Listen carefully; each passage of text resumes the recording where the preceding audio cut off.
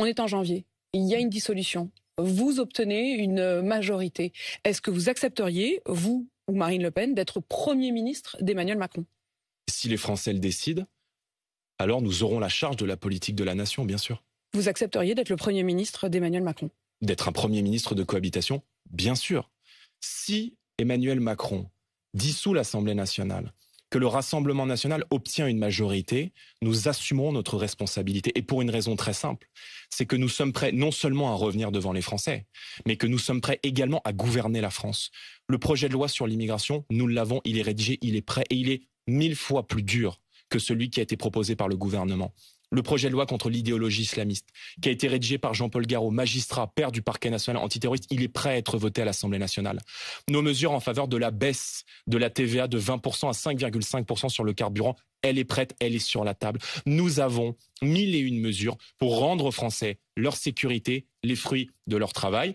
Et euh, si euh, nous revenons devant les Français, nous solliciterons évidemment une majorité absolue. Et moi, je souhaite qu'on puisse travailler aussi avec des gens qui ne viennent pas du Rassemblement national.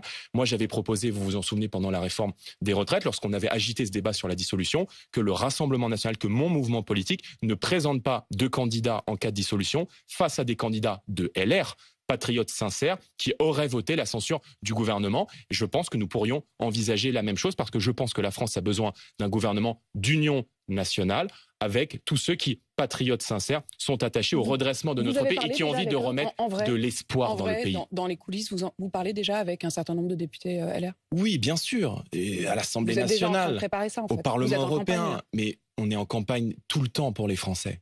Voilà, évidemment qu'on est en campagne. Moi, je n'ai qu'une seule obsession, c'est que les idées que nous représentons avec Marine Le Pen et le Rassemblement national, que je crois majoritaire dans le pays, puissent arriver à la tête de l'État et que nous puissions effectivement derrière conduire la politique de la nation et porter l'optimisme pour tous dans notre société à l'heure où Emmanuel Macron semble avoir éteint la lumière. Et puisque vous êtes en train de, de, tout dire aux Français et de donner votre plan, le Premier ministre, ce serait vous ou Marine Le Pen?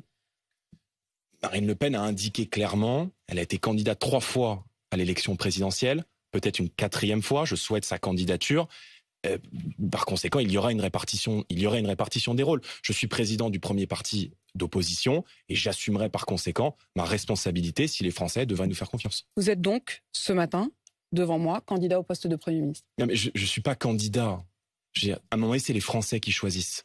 Et je dis aux Français, s'il doit y avoir une dissolution de l'Assemblée nationale, s'il doit y avoir demain la tenue d'élections, je veux leur dire les yeux dans les yeux que le Rassemblement national est prêt à assumer ses responsabilités.